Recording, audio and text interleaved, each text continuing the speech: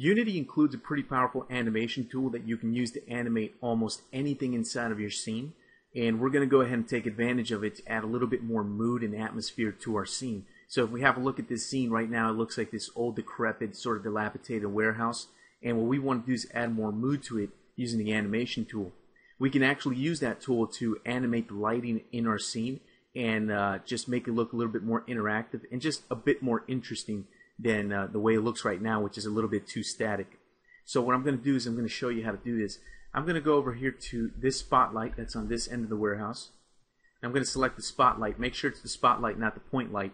What we can do is we can use the animation tool to animate um, most of the components or most of the parameters in this light component over here in the inspector. Okay, so to use it, it's pretty simple. Select the object that you wish to place some animation on and go up to the window menu and select the animation window. That's going to pop open this animation window and this gives you a lot of control inside of Unity and animation. So when you have the object selected and you open the animation window, you'll see the object loaded up right here and a whole bunch of parameters pop up over here. These are all parameters that can be animated within Unity. Okay, so we can actually create animation Unity using this tool. So let me show you the quick workflow of how it works. Select the object, load it up into the animation window, and the first thing we need to do is create an animation clip. We can't animate without having an animation clip created.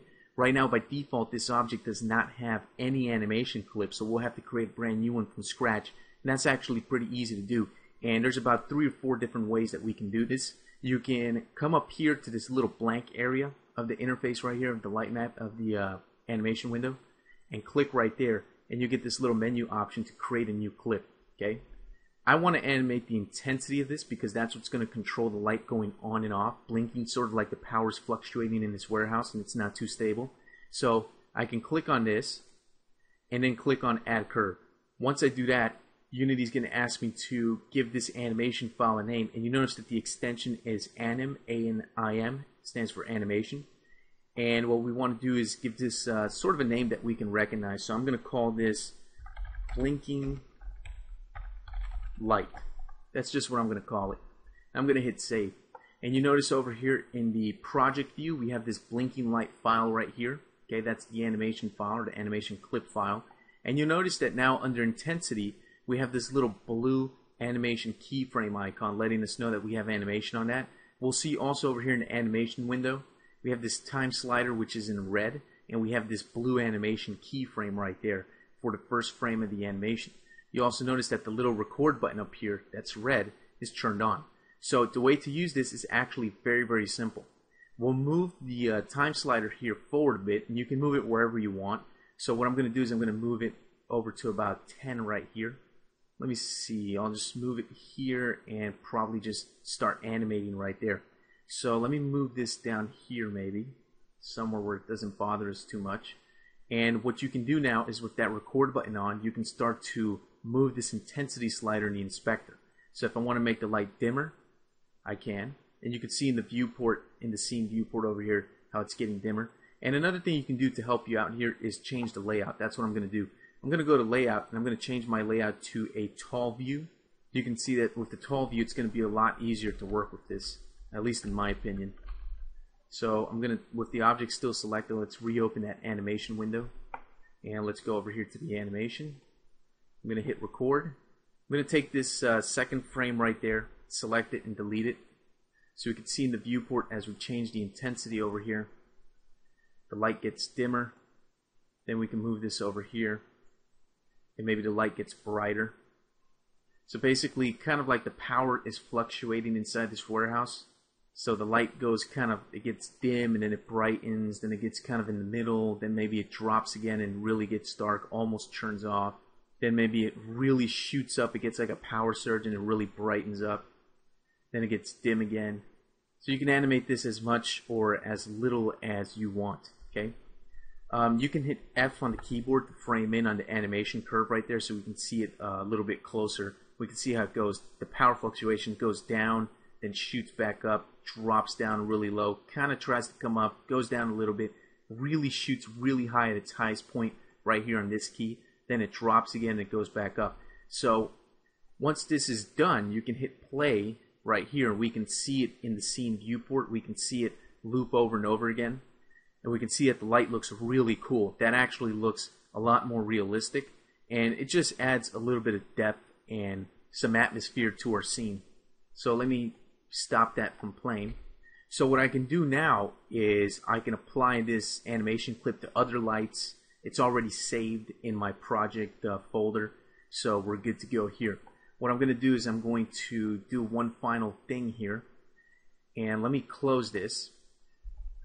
Okay, I'm going to go ahead and, ahead and hit play. I'm going to come into my scene here and I'm going to just play test this real quick. You'll notice that the light is not blinking. Okay, it kind of blinked at the beginning and then it stopped. If I replay this, you'll notice. See how the light's blinking in the background and then it stops. Okay.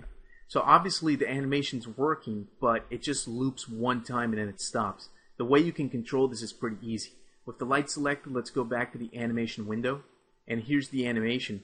Um, the way that you can control this is down here where it says default. Go ahead and click on that by default, it's set to play the animation one time, and then that's it, it stops. So what I want to do is I want to set it to a loop. I can also set it to ping pong, which is kind of like a reverse loop. So I'm going to go with maybe a loop, and then I'm going to hit close, and then I'm going to play test this again, and the problem should be solved. You can see the light's blinking in the background, and as I come over here, the light never finishes uh, going on and off. It just continues doing that, which looks pretty cool and makes it loop over and over and over forever. Perfect.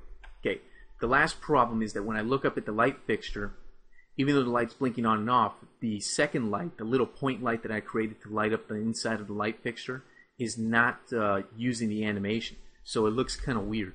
So to fix that's actually pretty easy. I'll select the little point light right there, and if I look at my project folder, there's my blinking light animation clip. It looks like a little sheet of paper with a little clock. Okay, what I can do is I can click and drag that asset and drop it on top of the point light that I have right now. Once I do that, I should be good to go. So let me jump into my scene here and test this out. Now when I look up at the light fixture, you can see that both lights, the point light and the spotlight, have the same animation, which means that they're consistent. See that? So they're perfectly synchronized, and obviously that looks a lot better than what we had before. Okay, perfect. Alright, so that pretty much does it for animation. Now let me come over to this slide over here. I don't know if you've noticed this before, but there is a problem with this light. If I select the spotlight up there, okay, you notice that down here underneath the catwalk, there's a little bit of light bleeding.